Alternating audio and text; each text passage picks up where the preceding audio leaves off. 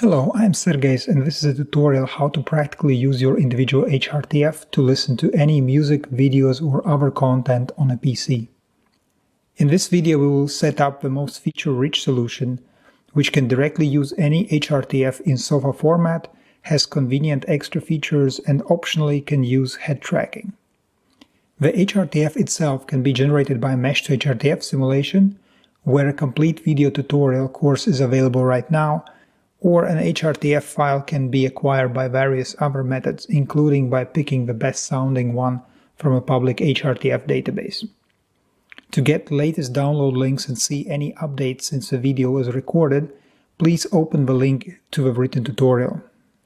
So we start by downloading the three programs which we're gonna need, Voicemeeter Banana, Sparta plugins, and VST host. Go to the Voicemeeter Banana website, and download the setup.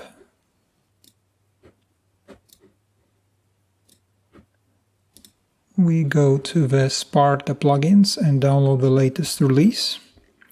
In this case, I'm interested in Windows 64 version. It comes in an installer. And for VST host, we are looking for VST host x64 zip. That's good enough go to our downloads and start installing Voicemeeter install.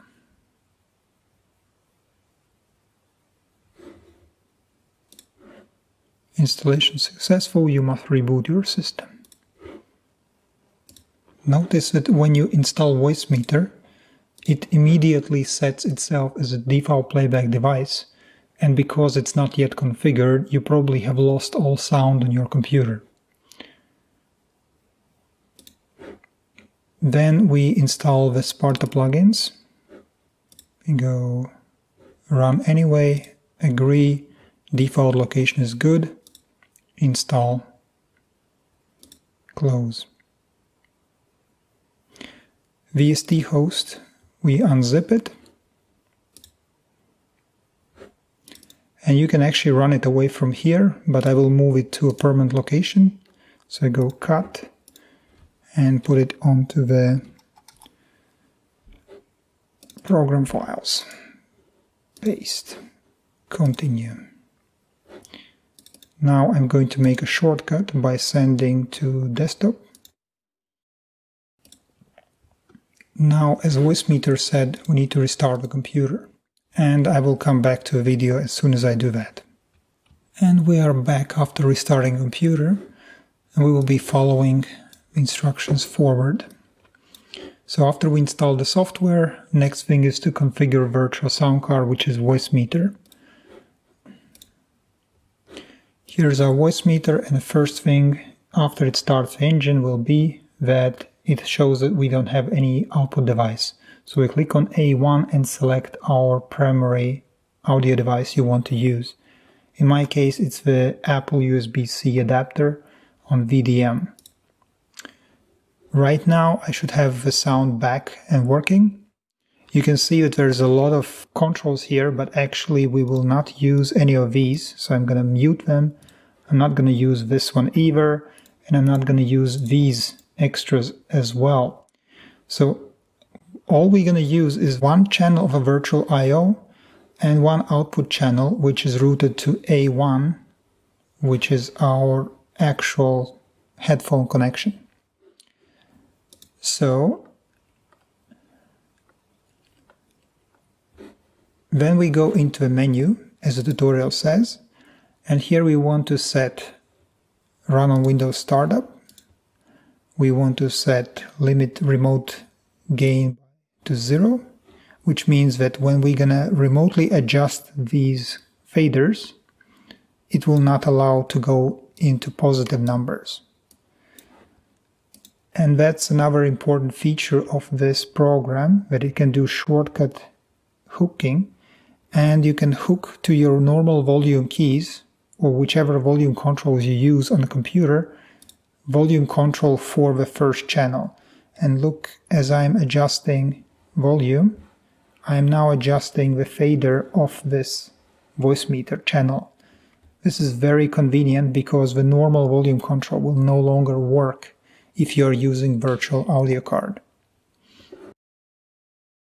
After this, we can go to the system settings, which look like this. And here, sampling rate right now is 48,000 Hertz, which is already good. In this example, I was setting everything to 44.1 kilohertz, but that is just one of the two options. And if you are going to be using HeSuVi at some point, you might want to stick with 48,000 because that's the convention used in HeSuVi. The important part here is to activate the patch insert virtual audio. And to do that, you click on all of these eight channels. Actually, the text here is not entirely correct, but there are eight channels we gonna route to the audio and back.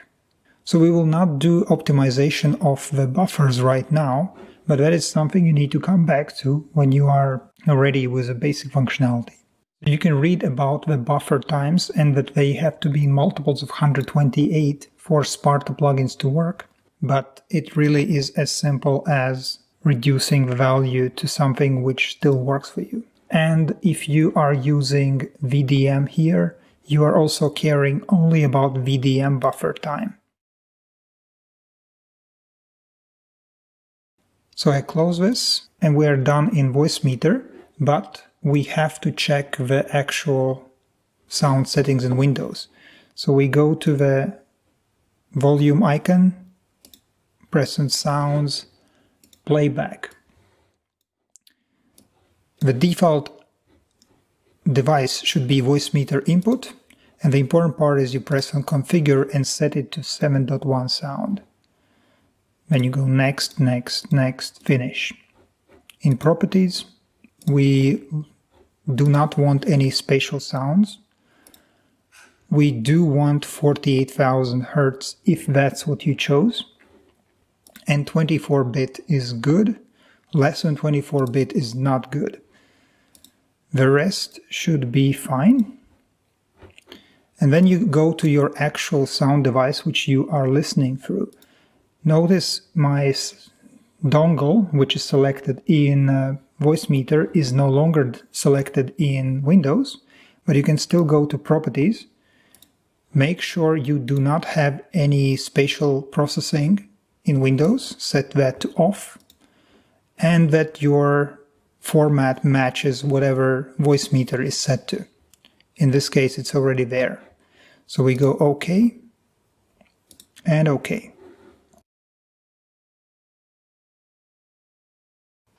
Some extra things in Voicemeeter which are good to know. There is equalizer in or actually tone controls for treble, mids and bass here. Double click to reset, something which is convenient. And then there is a very advanced EQ which you access by right clicking here. It's not perfect, but it's a quite sophisticated uh, PEQ which you can play with and uh, even have a couple of sets of settings which you can enable, disable, and so on. That's it for the main Voicemeeter setup. So we can go down to the VST host. And uh, VST host, I have a shortcut here. So we're going to configure a performance, which is a preset effectively. We'll set it to reload and autosave plugin banks, which means we will not need to worry that things disappear after you close a program. And we will do save as so that we can give it a new name, in this case, HRTF. Okay, and here we are. Now, the most important part is setting up the audio. So you go to wave settings and here you don't care about the input, you only care about output. And we want Voicemeeter insert virtual audio. Here we have to put the correct sample rate and uh, preferably buffer size which matches the settings in Voicemeeter. Notice the input port is grayed out, it does nothing. You don't need to worry about it. Okay, let's take a look. Here are some recommendations in case of any issues. And now we're going to load the plugins which we want. So we go File, New Plugin, Program Files, Steinberg, VST plugins. And here are all the Sparta plugins which we just installed. We want Binauralizer or Binauralizer Near Field or perhaps some other plugin which is equally good as Sparta Binauralizer. We get some questions about networks. I would say allow. And we get this box here, which is already nicely inserted. I will also load Sparta Multiconvolver as an example of one more VST plugin, but it could as well be another plugin not from Sparta.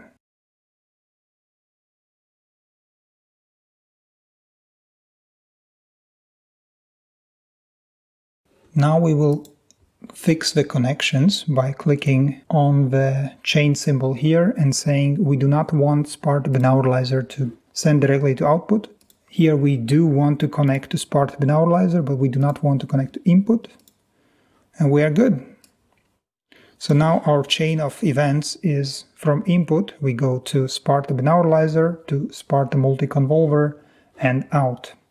If we click on this icon, plugin edit, we get the actual Sparta Binauralizer GUI, and we can also do for multi-convolver, but right now we will not use multi-convolver, so I will actually set it to bypass. So, we're actually ready with VST host itself, but we are going to configure the binauralizer. And here are the important parts you need to have a correct config for the channels. The default one is the one we usually want. You can read up when the other one is use, useful as well. So now when it's downloaded, we can load it in by pressing import and selecting the config. As you load it in, you will find out that it sets number of inputs to 8. Each channel gets correct azimuth and elevation angle, and you will see something like this, where actually some channels are overlapping. So you will not see every digit because they are hidden underneath. I will quickly reload it to get it back to normal. There are also given presets here, but they are not entirely correct for use in Windows. So we're gonna import the config back. Now everything looks good. Here is the place to load your SOFA file. So you click and go to your HRIR file from Mesh2HRTF or the SOFA file you downloaded from another database. Notice that it says apply diffuse field EQ, which in this case I chose to keep but that's something you might not want to have depending on your headphone equalization approach. Here you can see the HRTF points for different angles around your head. And in principle, it's already set. So let's do a short test. I'll open a file, which is a, a file. And if we look into Voicemeeter, interestingly enough, nothing happens. So after some fault tracing, I noticed that the buffer which I set was too low. So after I set it to 512, I got the sound back.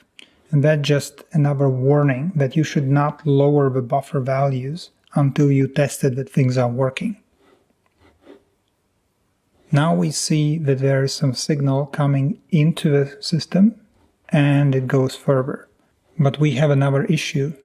As we see here, the first channels are not giving any input and then there are some extra channels there which looks like we have ASIO channel mapping issue.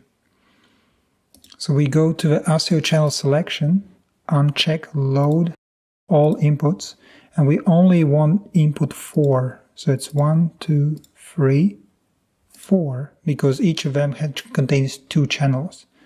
And same on this side, 1, 2, 3, 4. So we only process in VST host the 8 channels of the 7.1 sound and we press OK. It's clearly working. And if we go to Voicemeeter, we see the output of the binauralizer. We only see two channels here. Now, if I close the VST host, the sound continues working, and here we see all the channels of a 5.1 FLAC file. And actually, we see that the surround channels are not mapped correctly by the VLC player. That's one of the common issues why we have this part about the different presets for 7.1, 5.1 in case the software is not correctly mapping the channels and you do care about these details. So to demonstrate how flexible this is, we can just double click on VST host while sound is playing and things just start working with the Sparta binauralizer in the chain. It's that simple, that stable. And then finally, there is also enable rotation part for head tracking. So if we go back to the tutorial, the very last thing is head tracking.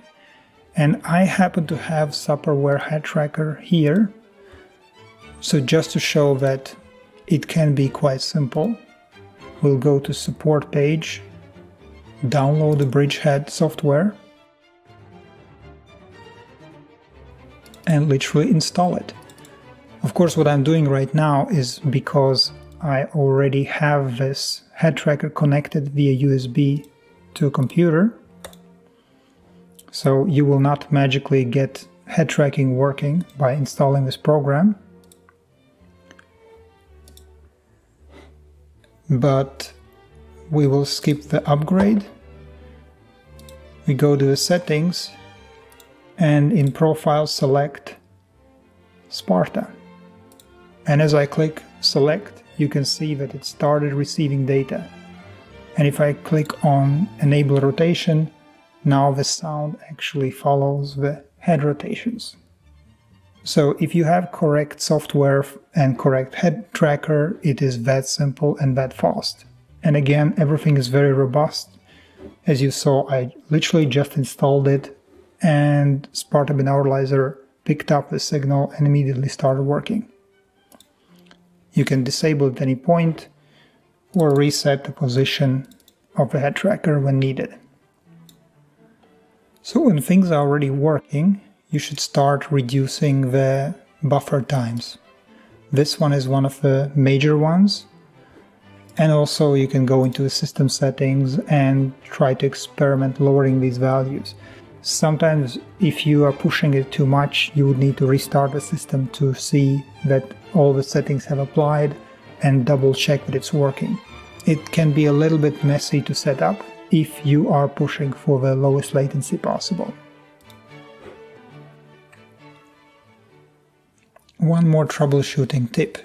If you increase the volume to a max, but it's still quiet, most likely is because the underlying hardware is set to a low volume. Therefore, when you set things up, especially the first time, make sure that the original sound card, which in my case is headphones is actually set all the way to 100%. Then don't blow up your ears by lowering this fader. If you do this adjustment, you are most likely going to put yourself back onto the headphones, so change it back after making the adjustment to Voicemeeter input and you are good to go. So, in summary, this setup is tested to work very well and stable over time. Yes, the latency could be lower, but it works very well in practice, and the convenience can be worth some performance drawbacks. There are more advanced steps for setting things up, like additional processing for the HRTFs or headphone equalization, which you can find on the wiki as it's being added. I hope this proves that individual HRTFs are not only readily available, but also practically usable right now. Finally, if you find the mentioned Voicemeeter and VST host software useful, please donate to their respective developers. Have a great day!